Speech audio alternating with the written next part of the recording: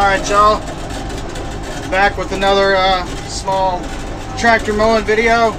It is really wet and muddy out here on the highway. I'm in the Kubota. I'm trying to get some of this mowing done. Cut down on, on time out here on this contract on the highway right away. As you can see, I'm, I'm cruising right through it, but it's pretty wet we had a lot of rain over the past month or so.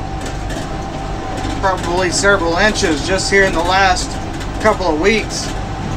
And this is low, so it's just retaining the water. It's not running off. So I'm doing my best to, to get through this without making it look like crap. As you can see, I've got a pretty big area to cover and a lot of it is covered with water spots. So there's going to be some tracks, but not leaving too bad of ruts. And uh, I got my guys out.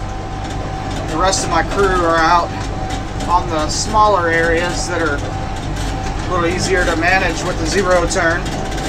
So we've got a Skag, 61 inch Skag, Zero out here today, and a Kubota 60, 60 inch, I believe, 60 or 61. It's a diesel, it's putting its work in today. Anyway, guys, stay tuned. I'll have some tractor mowing videos, some zero turn videos, general landscaping videos coming out on this new channel here pretty soon. Stay tuned. Have a blessed day.